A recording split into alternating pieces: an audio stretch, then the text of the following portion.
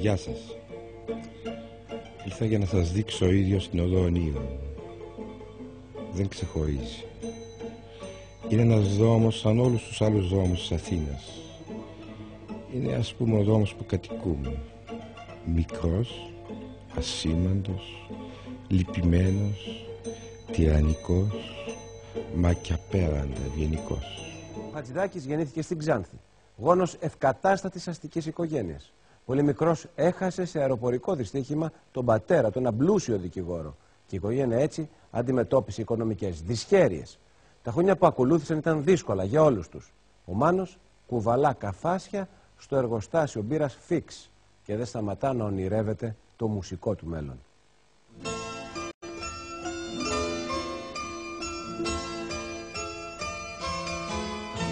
Ο Μάνος Χατζηδάκης γεννήθηκε το 1925 στην Ξάνθη. Από πολύ μικρός έδειξε το μουσικό του ταλέντο. Πέντε χρονών πήγε και βρήκε τη δασκάλα του πιάνου και την πήρε και την πήγε στους και είπε εγώ θέλω να κάνω μάθημα πιάνου. Έτσι ξεκινάει η μουσική του περιπέτεια.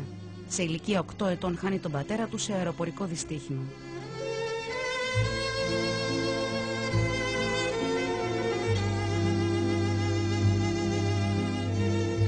Η οικογένεια Χατζηδάκη αναγκάζεται να μεταναστεύσει στην Αθήνα. Στο Παγκράτη, ο μικρός Μάνος γνωρίζεται με τον Νίκο Κούμπουρο. Για μένα ήταν άλλο πράγμα. Ο Μάνος, ο δικός μου Μάνος. Και για να γυρίσω λίγα εκεί πίσω, η μάνα του και η μάνα μου, δύο υπέροχες κυρούλες, φίλες. Καθόντουσαν τα μεσημέρια, δεν θυμάμαι ακόμα, στο ένα βεραντάκι και μιλάγανε, κουτσομπολεύανε για τα παιδιά, τι κάνει ο Μάνος, τι κάνει ο Νίκος. Τα χρόνια που ακολουθούν φέρνουν φτώχεια. Λίγοι ξέρουν ότι ο Μάνος δούλευε για να συντηρήσει στοιχειοδός την οικογένεια το θυμάμαι να δουλεύει στο Φίξ. Φίξ τότε, οι μπύρες Φίξ. Ήταν με ένα μπλοκ και μετρούσα τα κυβότια που φορτώνανε στα αυτοκίνητα. Είμαι στο μοναστηράκι. Μάζευα εγώ εικόνες και αντικείμενα. Και βλέπω τη μάνα του Χατζηδάκη με μια βαλίτσα τεράστια, τόση δυσανάλογο. Η μάνα του ήταν και μικροκαωμένη. Λέω πού πας τη βαλίτσα κύριε Αλίκη. Ε, λέει κάτι ψώνια θα κάνω. Λέω κύριε Αλίκη άστα αυτά. Θα την πουλήσεις. Ναι, Νίκου, πάω να την πουλήσω. Δεν έχουμε δραχμή. Λέω την αγοράσω εγώ την βαλίτσα. Και δεν είναι δυνατόν. Λέω είναι δυνατόν. Φέρτε εδώ τους. Αρπάω τη βαλίτσα. Μαζεύω ό,τι είχα στη τσέπη μου. Της θα δίνω. Λέω τα υπόλοιπα θα φέρω στο σπίτι. Η έλλειψη χρημάτων βάραινε στη ζωή τους πάρα πολύ. Και κάτι να που έχει κάνει σημασία, η αξιοπρέπεια. Δεν έπρεπε κανείς να καταλάβει, κανείς να νιώσει ότι η οικογένεια αυτή δεν ισχύει το ψωμί καμιά φορά.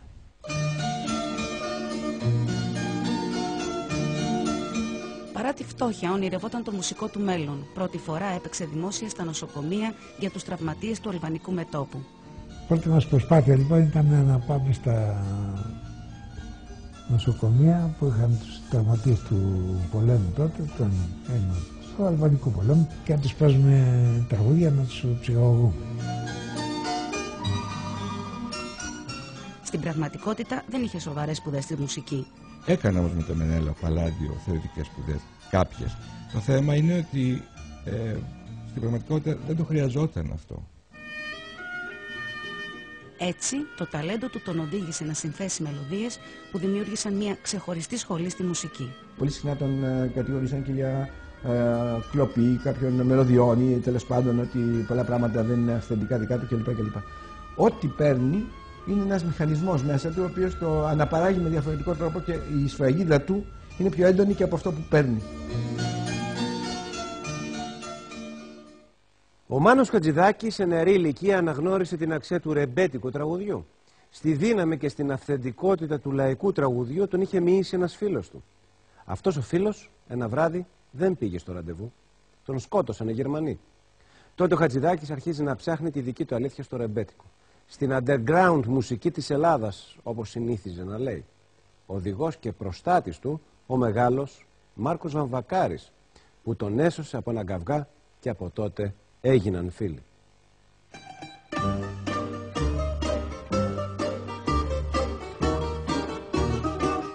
Μετά το δεύτερο παγκόσμιο πόλεμο, ο αμούστακος τότε Μάνος Χατζηδάκης μπαίνει στο ρεμπετάδικο που τραγουδούσε ο Μάρκος Βαμβακάρης.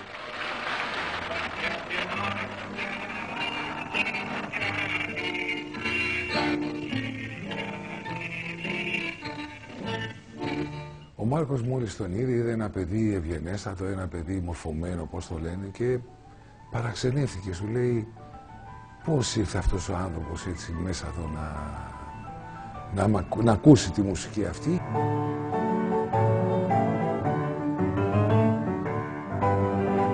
Πριν προλάβει να εξοικειωθεί με τη ρεμπέτικη ατμόσφαιρα, βρίσκεται στη μέση ενός άγριου καυγά. Φαίνονταν ξένος εκεί.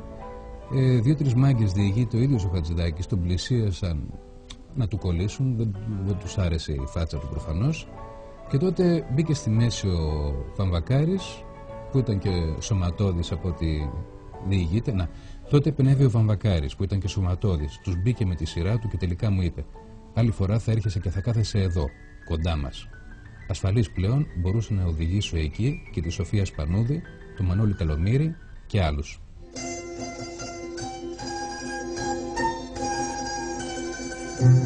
Η πρώτη επεισοδιακή εμπειρία ήταν καταλητική.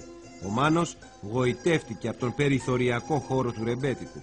Οι ρεμπέτικες λειτουργούσαν παράνομα και γι' αυτό αυτά τα τραγουδία είχαν αποκτήσει δύναμη διότι είναι γεννήματα παρανομίες. Είναι τα underground τραγούδια της, ε, της Ελλάδος μετά τη Μεκαρσιατική καταστροφή.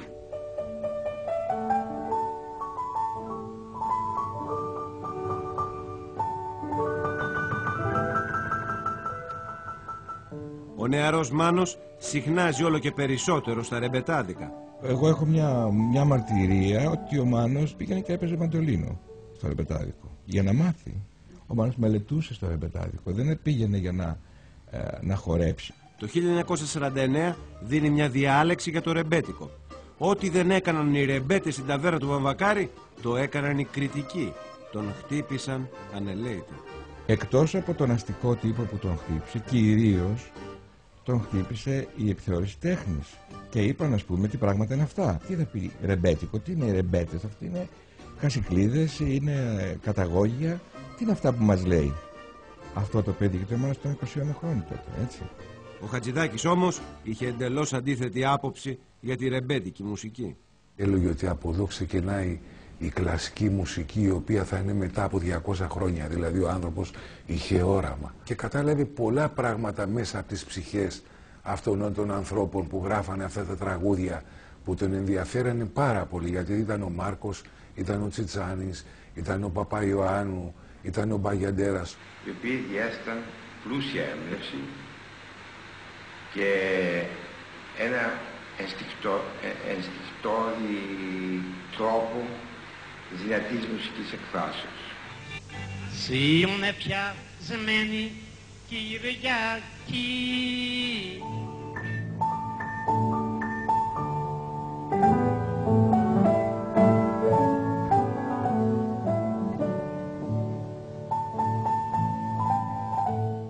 Ο Χατζηδάκης πρόβαλε το ρεμπέτικο μέχρι τη στιγμή που επικράτησε και έγινε μόδα. Φυσικά από τη στιγμή που η σημασία τους συνειδητοποιήθηκε από όλο τον κόσμο και χάσαν τον περίγυρο μέσα στο οποίο λειτουργούσαν πάσαν και αυτοί να υπάρχουν ως ζωντανές δυνάμεις και κατά κάποιο τρόπο θα έλεγα στερέψαν Όταν πια η, η ρεμπετολογία έγινε μόδα, αυτός την απεχθανόταν.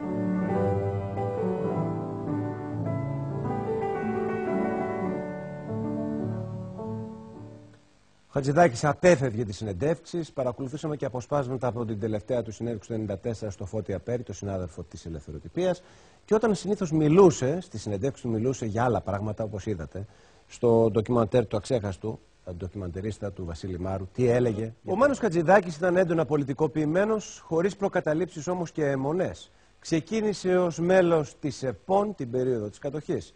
Σύντομα εγκατέλειψε την οργανωμένη αριστερά και αφοσιώθηκε στη μουσική.